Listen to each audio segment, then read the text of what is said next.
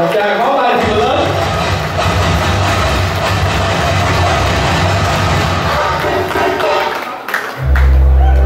Và xin à, thanh sang xin cảm ơn cô chú đến đây với thanh sang.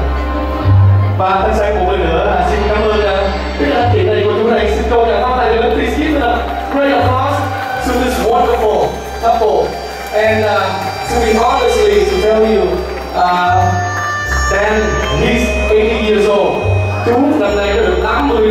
80 rồi.